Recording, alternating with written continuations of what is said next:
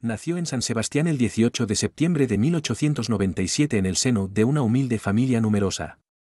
Comenzó a estudiar teoría musical y violín con Alfredo Larrocha en la Academia Municipal de Música de San Sebastián, para pasar más tarde a formar parte de la Orquesta del Casino de San Sebastián, con solo 17 años.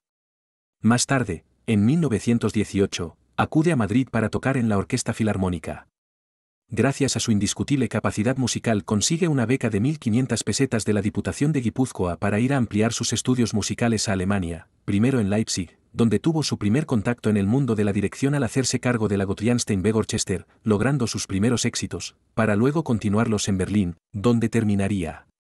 Revisó y rescató obras del siglo XIX como Pan y Toros, de Barbieri, o Pepita Jiménez, de Albéniz, obteniendo un gran éxito artístico, pero no económico. Inicia su actividad lírica en 1931, al estrenar la opereta Katiuska, La mujer rusa, a la que seguirían otros títulos tan importantes como La isla de las perlas y Adiós a la bohemia en 1933. En 1934 estrena la del Manojo de Rosas, con la que termina de cimentar su fama como compositor, tras otros títulos como No me olvides o La casa de las tres muchachas estrenados en 1935. Consiguió en 1936, con La Tabernera del Puerto, uno de sus más resonantes éxitos. Se distinguió por su labor sinfónica y de cámara, que reúne también obras como Capricho Español, Suite Vasca, Chistulariac, etc. Siempre estuvo muy apegado a las costumbres vascas y reconoció en el caserío, de Jesús Guridi, una partitura magistral, pero un libreto que según él banalizaba al pueblo vasco y no lo representaba.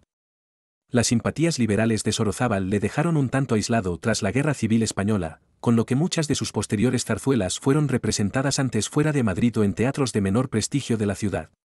Algunas de ellas son el ambicioso romance alegórico, Black el payaso, 1942, o el sainete Don Manolito, 1943. Realizó también contribuciones en el campo del cine, como la banda sonora de Marcelino Pan y Vino. Murió sin poder estrenar la que él mismo consideró su mejor obra, la ópera Juan José, que fue estrenada en versión concierto, en el Cursal de San Sebastián el 21 de febrero de 2009. Con su muerte en Madrid el 26 de diciembre de 1988, el recorrido histórico creativo de la zarzuela llegó a su fin. Su legado e influencia sobre dicho género fueron decisivos.